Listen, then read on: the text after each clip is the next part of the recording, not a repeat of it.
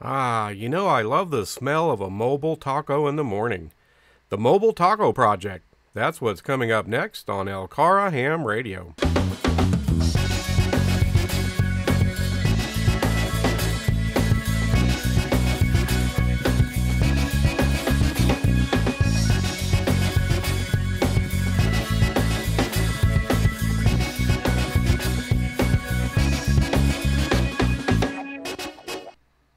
Hello, folks. This is Chris, KY4CKP.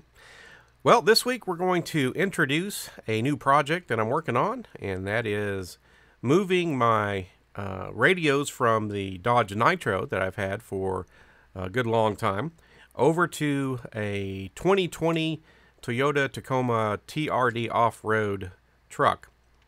So, this is going to be the Mobile Taco Project and uh, we're going to use uh, a, a, fair amount of the kind of techniques and materials we used on my wife's 2020 uh, 4Runner.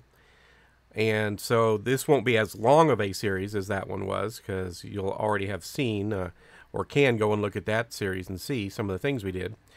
But we're going to show some of the things we're doing, the way we're going to solve a few of the problems, and work on getting my HF radio and my UHF VHF radio, the FT891 and the uh, ICOM ID 5100, installed into the truck.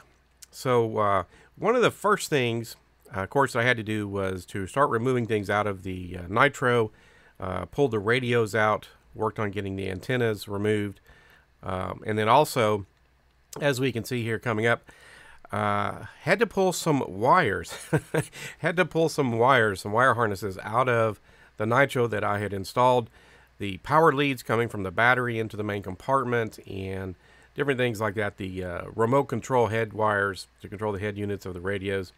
So uh, a pretty good bundle of wires that I had to pull out of various places of, uh, of the Nitro. So we've got those removed.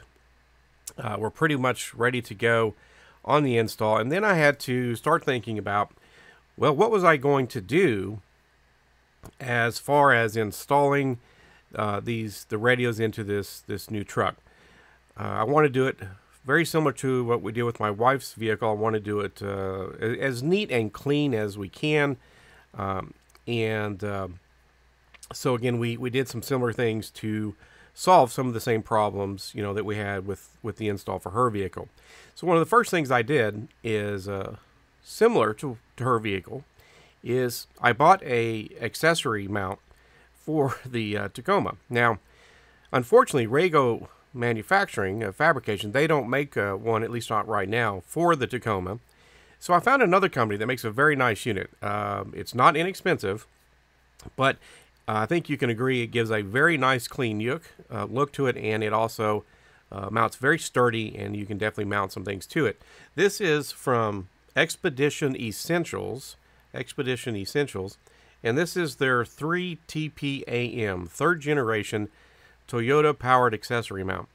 Very nice, clean install, has the two USB ports if you want or need them. And so I went with this unit. Uh, I think it matches the uh, the central dash part there very nicely. And again, it has plenty of strength in the overall installation of it.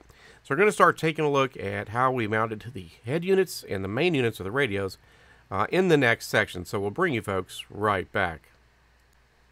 All right, folks, here we can see a preview of the final mounting for the head units for these two radios. Uh, we'll go into sort of how I came up with the solution and what the solution looks like here in just a moment.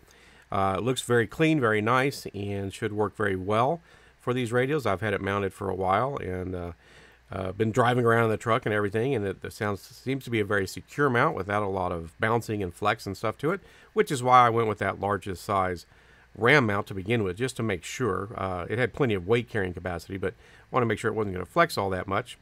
And then here's also a preview of how I uh, was looking at mounting the, the main bodies to the radios. Uh, I did change the positioning around just a little bit, but it ended up being very similar to this. And so we'll see that again uh, towards the uh, later half of uh, the video build. So it's working out uh, nicely. I've still got some work to do, some wiring to run, but the mounting for the head units, the mounting for the main body of the radios, I've got those all figured out and they should work very nicely And again, it's just going to be routing some cabling, very similar to what we did in my wife's 4Runner. Uh, I can, I should be able to run. I've got everything on the driver's side of the truck.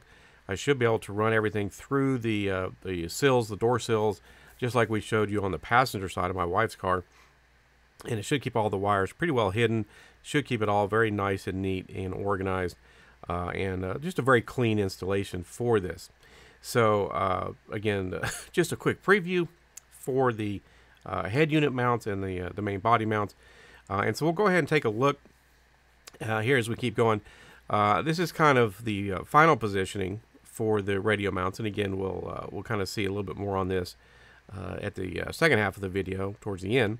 Using that automatic power on, automatic power off unit, APO3, start your vehicle.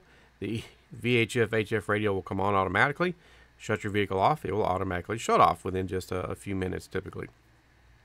So I just want to preview a little bit of the hardware I used. Uh, I used these self-tapping screws, half inch length. Uh, the board I bought is half inch and made sure they weren't going to go all the way through and that stuff.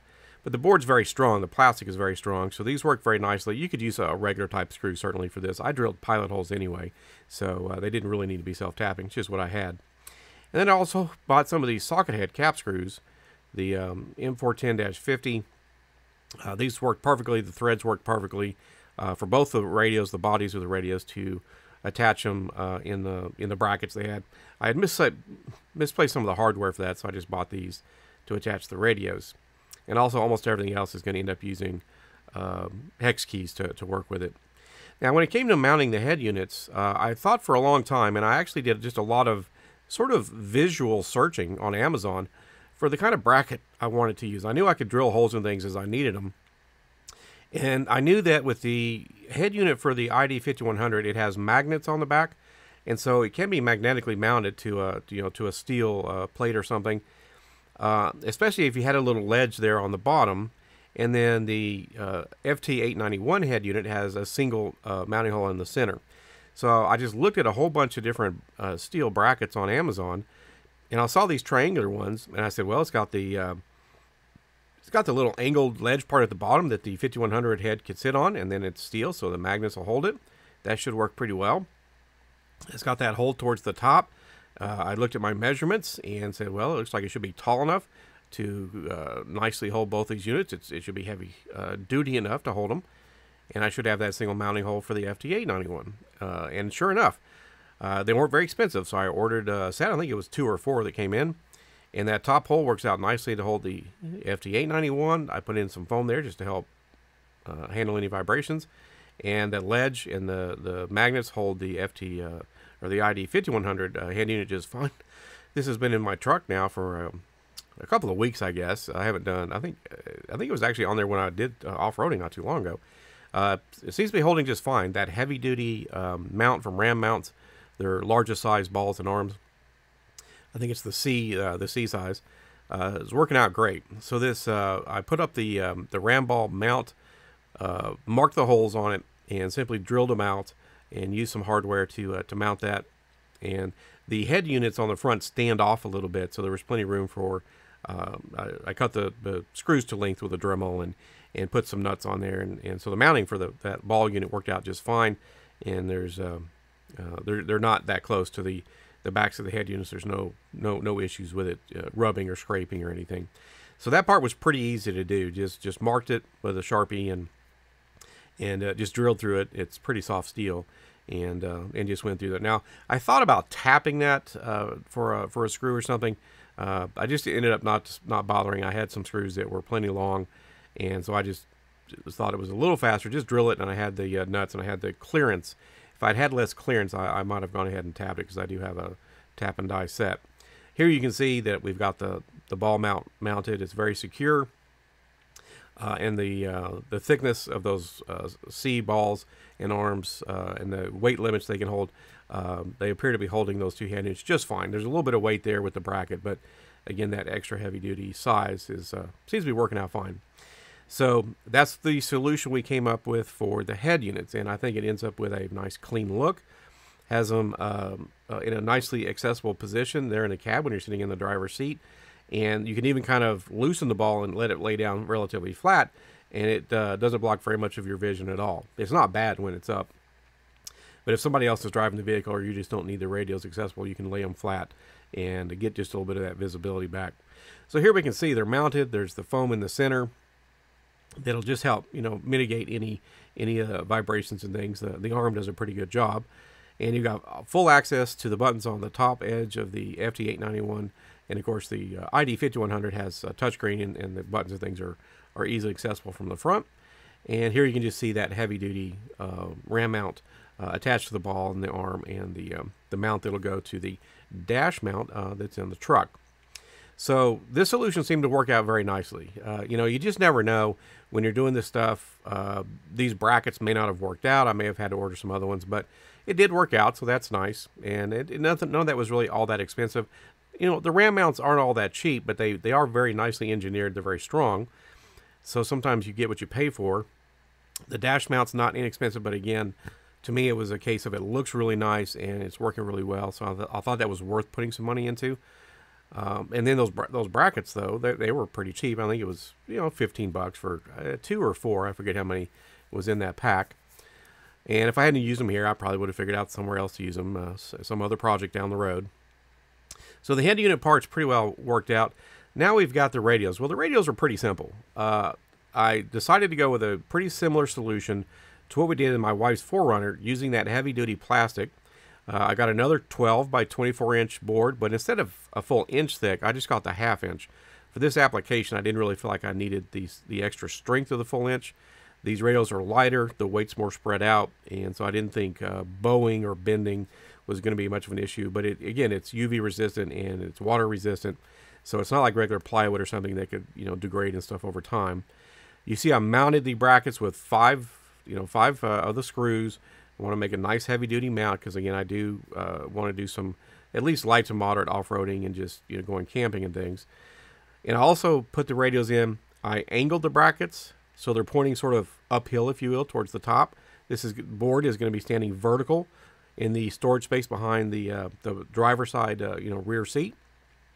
And I also mounted the head units uh, or the base units so they're angled up in the bracket so you, they're lifted up uh, on the front off that board a little bit more just to make them a little bit more visible because the back end of these units is where you would do most of your fiddling.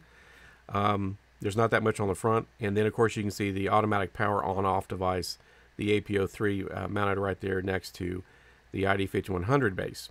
So that's pretty much it for part one. We've got the main hardware mounted. Uh, now we just need to work on the antennas and then we're also going to be working on the uh, you know running the cables for power, the control wires for the head units, and uh, and that kind of stuff. So that's pretty much it, folks. We'll wrap this one up and we'll bring you right back. All right, folks, that's going to wrap it up for part one of the Tacoma mobile radio install uh, project. Join us for the next parts. There will be one, maybe two more parts uh, in this little series. And as always, we release videos every Friday. So we'll see you folks in the next video. This is Chris, KY4CKP for Lake Cumberland Amateur Radio Association 73.